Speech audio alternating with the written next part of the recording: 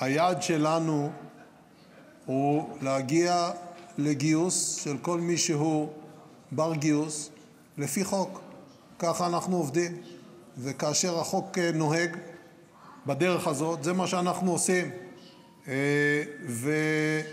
ובסופו של עניין התהליך הזה הוא תהליך הדרגתי. הוא לא נעשה 76 שנים.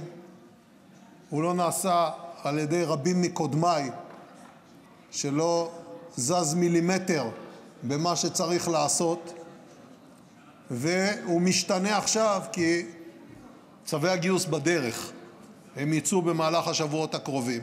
אז אני חושב שזה שינוי דרמטי ומן הראוי לברך עליו כי זה גם ירבה ביטחון וגם ירבה אחדות. שני הדברים האלה חשובים